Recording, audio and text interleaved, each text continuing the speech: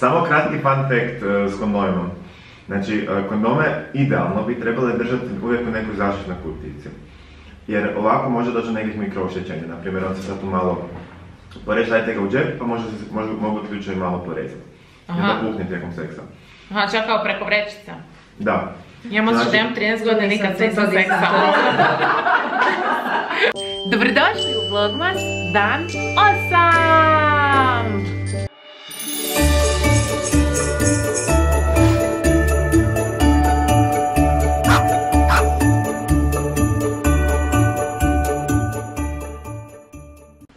Idemo odmah sada na otvaranje azijskih kalendara.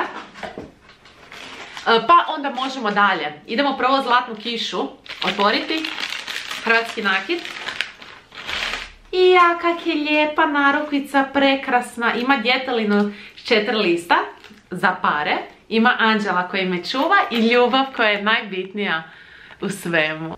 Ovo je predivno. Super. Osam. Osam je elf. Ein, zwei, drei, vier, fünf, sechs, sieben, acht. Acht. Gdje je acht? Evo ga, acht. Dobro da znam brojat na njemačkom. Cimt mandeln. Znači ovo su... Što ljubavi si namirišao? Ovo su uh, bademi sa cimetom. Jel je? Nemam pojma. Idemo avon.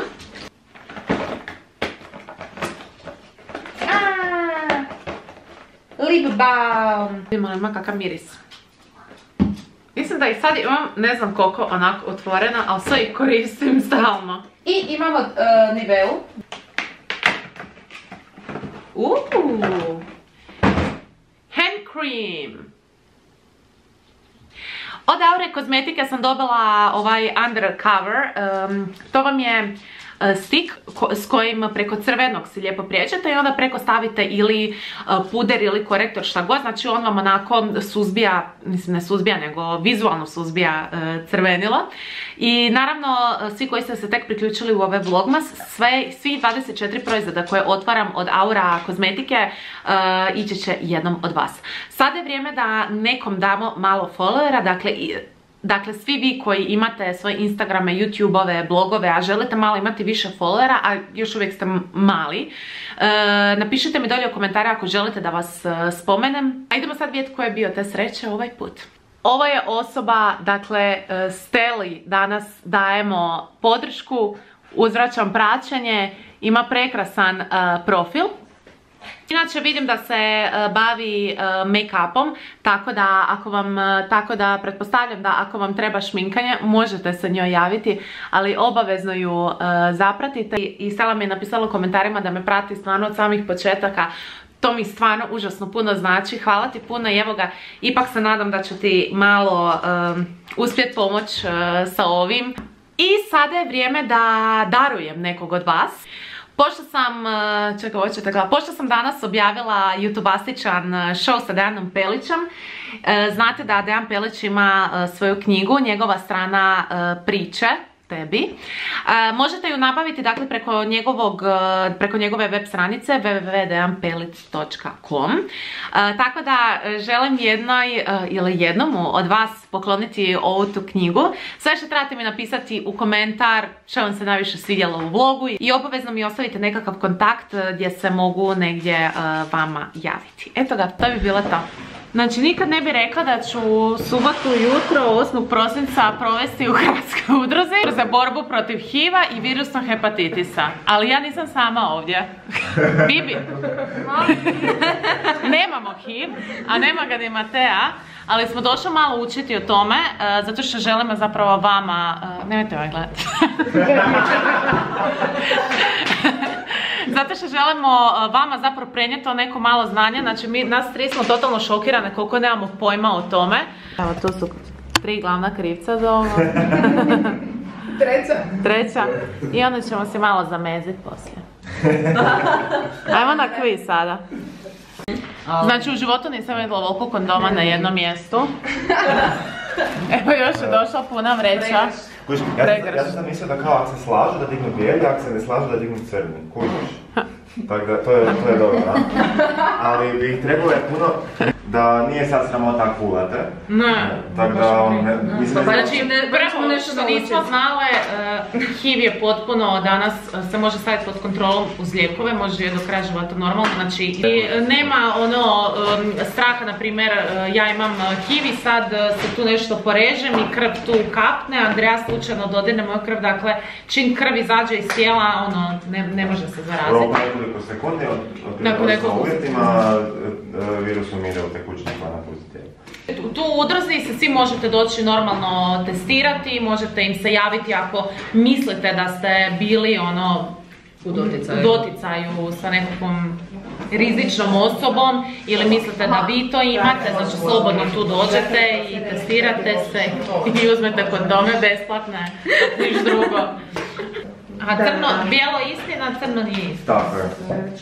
E, pitanje jedan. HIV se ne može prenijeti uporabom WC školjke sa osobom koja je HIV pozitivna. To je istina. Točno. Bravo. Znači, prvo pitanje je položeno. A složile ste bananu svaka. Prikladno. E, da, znači neka, neka se neko može preplašiti ako ima cimera koji je HIV pozitivan, znači HIV se ne prenosi kroz u kućanstvu, znači to se ne događa. Na, znaju se putevi prijenosa, znači ako se seksaš s cimerom, ok, u riziku si, ali ako dijeliš već školjku, nisi u riziku. E, drugo pitanje. E, za malo mlađu populaciju, jer ovo baš ne znam. Moguće je zatrudniti pri prvom spolnom odnosu.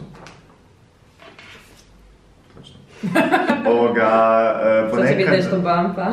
ponekad mladi misle da je himen, to je prisutnost himena, prevencija trudnoće. ok, treće pitanje. Najčešća spolno prenosiva bolest je HPV.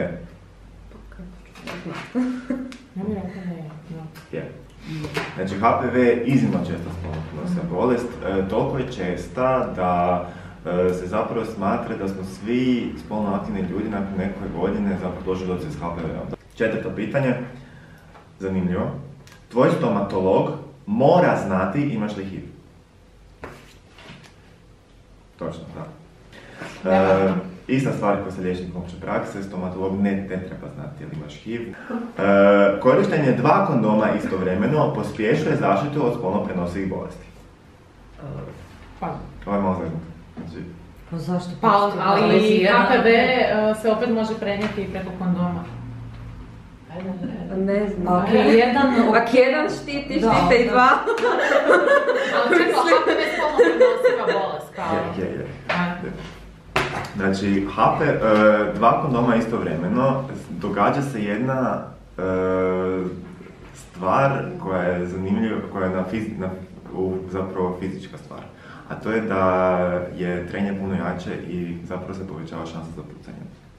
Prema tome, dva kondoma istovremeno će puno prije puknuti nek jedan kondom. Ako imam klamidiju, dovoljno je da se ja liječim, ne i moj partner. Točno. Pa nemam pojma. Seksualni partner ili... Zapravo zna seksualni partner. E, tako je, znači trebam se ja, trebamo se oboje liječiti. Računanje plodnih dana vrlo je pouzdana metoda prevencije neplanirane trudnoće. Jako puno, lju- jako puno žena misli da ako računa plodne dane, da su jako sigurni kad su plodni i neplodni dani i onda zatrudne. Znači, plodni dani su nepouzdana metoda zato što ti da, ti da računaš plodne dane ti trebaš doslovno u dan predvidjeti kad će tebi biti sljedeća menstruacija, što ne možeš. Kontracepcijske pilule ujedno štite i od spolno prenosivih bolesti. to znamo kako. Većina spolno prenosivih bolesti zapravo nema simptome. Točno ili netočno? To je točno, da. Većina zapravo nema. Ljudi misle da ak, ak nemaju simptome da ne mora to ni gledati, to je krivo. Oralnim seksom moguće je dobiti HIV. Točno ili netočno? E, znači, oralnim seksom, unatoč, unatoč slini, koja je, tu može u kontaktu sa virusom HIV-a ga e, inaktivirati, e, neki slučajevi su zabilježeni gdje se oralnim seksom prenio HIV. Tako da e, ne, nećemo reći da je nulti rizik, nego da je vrlo, vrlo, vrlo nizak. Vaginalni seks je najčešći put prijenosa HIV-a. Točno ili netočno? Najčešći put. Najčešći. Vaginalni seks je najčešći put prijenosa HIV-a. Znači, vaginalni seks je drugi po redu, znači. Analni je. Analni je prvi. Znala sam. Znači, e, analna sluznica je jako prekrvljena. Jako je sklona pucanju. Znači, ima žilice koje mogu lako puknuti. Genitalni herpes nije moguće dobiti oralnim seksom. Čekaj, genitalni herpes nije moguće dobiti. Oralnim seksom. To je točno. Ne znam. Nije moguće dobiti. Oralnim seksom. Tre- e, Kad, kad je negacija. Aha, znači, okej. Ovo. Vjerojatno. Da. Moguće je znači dobro. Da, Znači, moguće je e, dobiti. Kad kažemo genitalni herpes, to ime upućuje samo na herpes koji je u genitalnom području. Da. To ne zna, znači ti možeš herpes koji je na usni, to je najčešće herpes simplex tipa 1, tako se zove virus, može biti razvijen u genitalnom. Znači, Mhm. unatoč tome što, e, na, najrizičnija situacija ako osoba ima aktivni herpes na usni i pruža neku moralnu užitak. E, 13. Tijekom darivanja krvi, moguća je zaraza nekom spolno prenosivom infekcijom. Točno ili netočno? A nadam se da... A dobro radi. Znači, ako ja dajem, dajem dobrotvorno, do, dobrovoljno krv, da. da li preko igle mogu dobiti spolnu bolest? Da. Nadamo se da. Pa kako ću se ja zamislila oko ovog Pa uvijek postoji mogućnost za grešku, kaj ne? E, slažem se, uvijek postoji mogućnost za grešku, ali smo mi regulirali u Hrvatskoj situaciju tako da se pri darivanju krvi uvijek koristi jednokratni pribor. Tako da ta igla koju osoba koristi za tebe, koristi samo za tebe. Neuredni nalaz papa testa znači da je prisutan HPV. Pa što znači ne?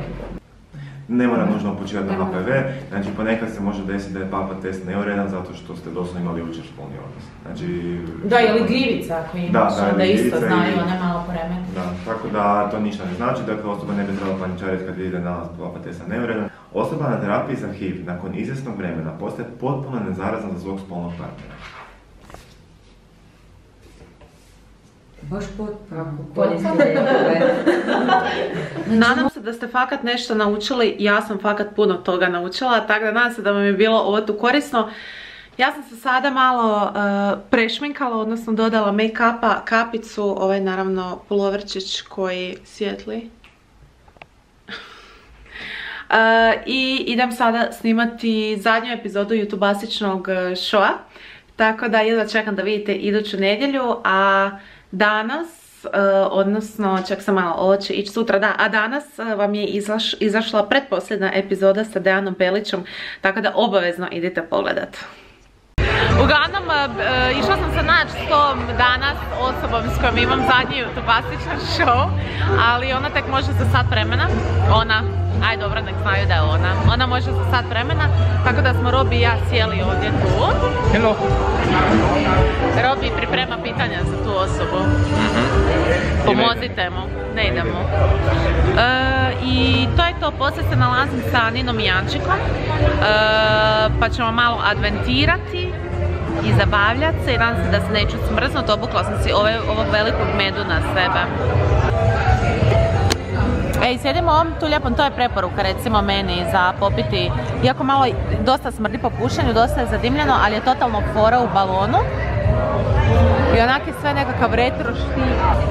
Jel bi ti preporučio ovo tu da se dođe popit cuga na adventu? E, naravno, Bi, jel da da je dobro ovdje? samo uzmite malo deblje novčanik. Šta da?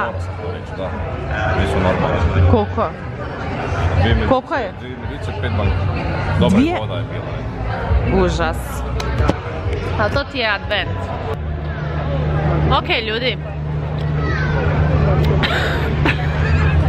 Završilo je snimanje e, sa osobom uh, youtube showa, zadnjom. E, I ne znam uopće šta bi rekla, bit će, ovo mislim da će ovo biti stvarno najbolji youtube show koji smo do sad snimili. Robi i ja sad idemo tražiti kućicu koju se jede, jer smo dosta popili. Realno, fakat Ne vidi dosta. se po nama, ali Ne vidi se, ne vidi se. ali idemo tražiti kućicu, Robi.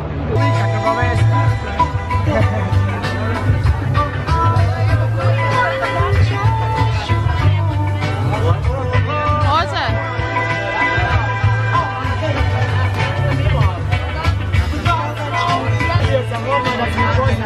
A?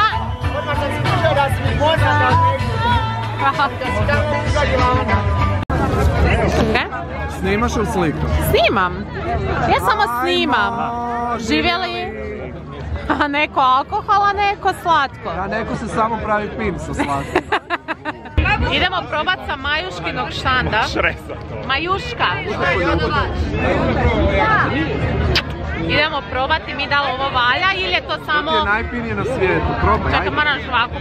A pljon. Ali mora biti tvrda, poanta je... Ne, ne, još otvori usta.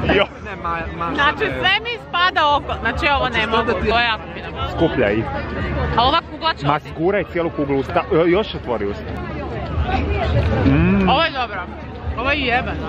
Jesi ga zagrizla? Jesam bravo. Jel dobar zagrez? Jako Zagrizla ga je Marko. Slobodno. Hoćeš ti probati? Neću, hvala ti, pijem vino. Ja pijem vino. Hvala.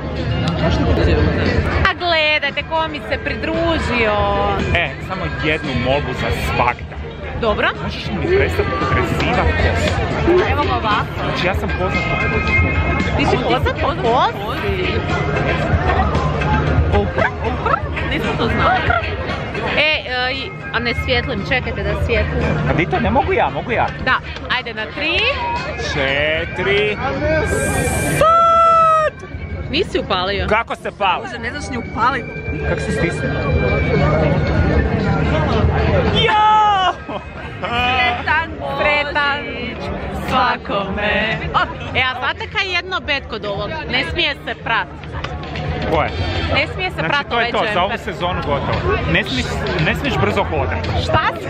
Ne smiješ se. Samo se lagano Budiš, Ne kreći. smiješ se znojiti. Ne smiješ se- Ne. Samo sjedni. Ne smiješ Samo voditi sjedni, ljubav za Bože. Ili kuhano vino. Samo malo sjedneš. Nemoj, zube sam izbjelala. Vidi se. Hashtag štiman. Ali vidi kako su lijepi. Jesu. I kamenac su ti, čist- jesi ti pjeskarili? Da, pjeskarili, skinuli kamenac i onda tek Znači, ljudi, izbjeljivanje. ljudi, pjeskarenje ravno seksu. Jančik, na čemu smo? Na čemu smo? Na čemu smo? Na čemu smo, Nina? Rakija od jagode, navodno. Jako dobar izbor, sviđa mi se Jančik. ja, ja sam popio kuhano vino, ne. A moraš nešto? Bude. Se maš od kad si ti postala ono nasilna alkoholička. E, dvije youtuberice sam našla na kavi. da, da, da. Znači Lidiju isto možete sada pratiti na njenom YouTube kanalu, kako se zove? Ovo je zapravo eksperimentalni kanal, nije to još pravi YouTube kanal, ali... A dobro, i već ima vide. Ma ima, da, ali moram to malo bolje napraviti, tako da ovoga... Zapratite. Zagreb, My Little Zagreb, da. My Little Zagreb se My zove? Little Zagreb je preimenovala se. A, primjenovala. Tako da idemo sad po gradu, nadam se da nam neće nekakva kiša pasti, jer smo najavili, jer nam treba nekakve lijepe fotkice. Prvi outfit fotka, uspješno, kod HNK, vrh je fotka, i njena i moja. Sad smo u Christmas sweaters. I sad idemo naći neki lijepi štand sa nekakvim možda lijepim kukijima ili nešto zgodno za drugu fotkicu. I sad ćemo probati uhvatiti na Zrinjevcu, ali ja ne znam kako će to uspjeti jer se sada milijarda ljudi sli, e, stuštila prema Zrinjevcu. Lidija, pa ti svjetliš. Svijetli probleme, jel da?